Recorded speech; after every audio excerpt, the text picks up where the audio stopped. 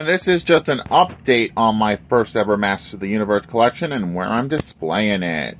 So this is my 2024 Masters of the Universe collection and we got figures displayed with my Castle Grayskull. We got Man-at-Arms and Trapjaw, Man in the Battle Pods. We got He-Man up there. We got another He-Man up there.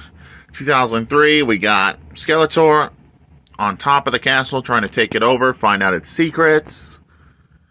And we got Man in Arms, Man-E-Faces, Stratos, and Beastman doing battle right here. The little non movable figures. We got Trapjaw, another Skeletor attacking the Castle Grayskull with their vehicles.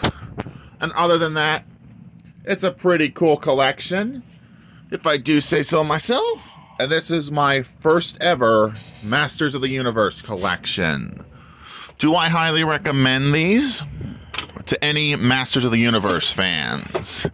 Yes, these these figures and playsets are so much fun that I'm definitely hoping they do another series and they give us a better Castle Grayskull. Because this is an awesome toy line. I love these figures. I love these play features. They got to give us a better Snake Mountain and more bad guys. But other than that, this is an awesome collection. If you're starting out collecting He-Man, this collection is worth the money. And this is Eddie Hill. Moving on and rock on and rock out YouTube land.